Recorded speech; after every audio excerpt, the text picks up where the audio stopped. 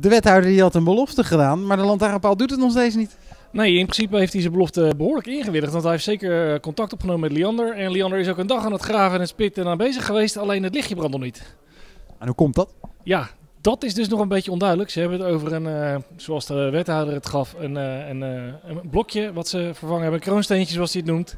Maar ja, het lijkt me sterk dat het alleen daarin zit. En eens even afwachten wanneer nou de volgende actie komt.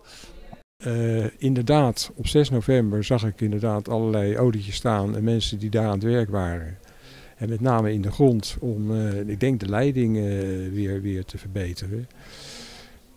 Zo gezegd, zo gedaan. Maar toen hebben de avond daarna hebben we gecontroleerd of die, of die lamp brandde, maar heus niet. Hij brandde weer niet. De dag daarna heb ik weer Liander gebeld en gezegd van luister eens, ze hebben eraan gewerkt, maar hij brandt niet. hebben jullie dat niet gecontroleerd? Nee, nee.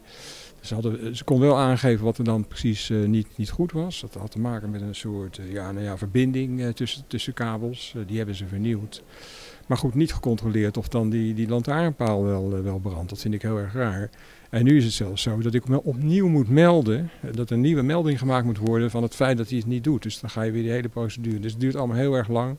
Dus ik ga morgen weer uh, aan de telefoon hangen om te kijken van of het niet sneller kan. Want dan gaat het zo weer uh, 14 dagen duren voordat men überhaupt weer aan de slag gaat om te kijken waar het probleem dan echt zit. En ik denk dat het te maken heeft met de sloop van uh, Emmaus. En uh, nou ja, in ieder geval het poortgebouw dat is verdwenen. En daar in de buurt zit er misschien nog een, ja, een een of ander knelpunt.